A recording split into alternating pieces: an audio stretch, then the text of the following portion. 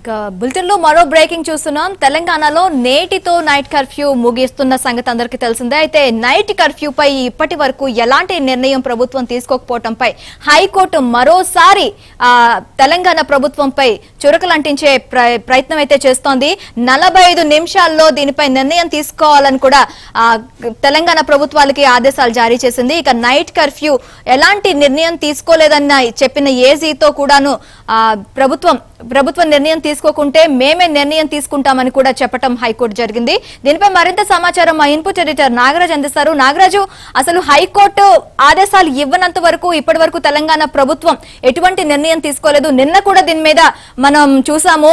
Night curfew గురించి ఏం ఆలోచిస్తున్నారు? ఇలా ఇంకా కరోనా నిబంధనల చర్యలు తీసుకోవటంలో తెలంగాణ ప్రభుత్వం ఎటువంటి చర్యలు తీసుకుంటుంది అనే నేపథ్యంలో ఇప్పటి వరకు తెలంగాణ ప్రభుత్వం స్పందించలేదు.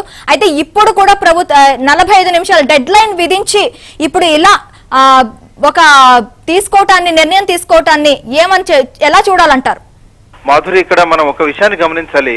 ప్రజా ప్రయోజనం ఇమిడి ఉన్నటువంటి ప్రజారోగ్యంతో ముడిపడి ఉన్నటువంటి అంశం పట్ల ప్రభుత్వం ఎంత ఉదాసీనతతో వ్యవహరిస్తుందో తెలియజెప్పడానికి ఈ హైకోర్టు పెట్టినటువంటి డెడ్ లైన్ మనం చూడొచ్చు.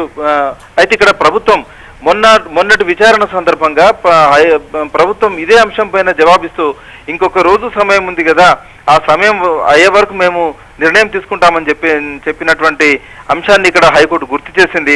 ఆ రోజు హైకోర్టు చెప్పిన డెడ్ లైన్ ఏంటంటే మధ్యాహ్నంలోగా మాకు వివరాలు చెప్పండి అని చెప్తే అడ్వకేట్ జనరల్ ప్రసాద్ సరే అన్నారు.